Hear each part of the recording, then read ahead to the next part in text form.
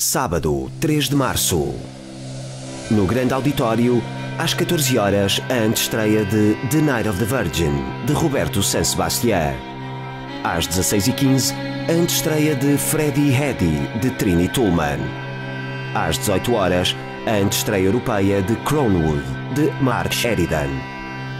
Às 21 horas, a sessão de encerramento e entrega de prémios, seguido da antestreia de Le Fidel, de Michael R. Roscom.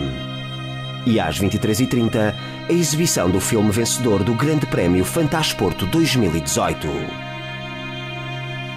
No pequeno auditório, uma sessão especial com a antestreia mundial, às 15h30, do documentário Doutores Palhaços, de Bernardo Lopes e Helder Faria. Às 18h30, homenagem ao realizador, argumentista e crítico de cinema Lauro António e exibição do seu filme Manhã Submersa. E às 21h15, a antestreia de The Unwilling, de Jonathan Heap.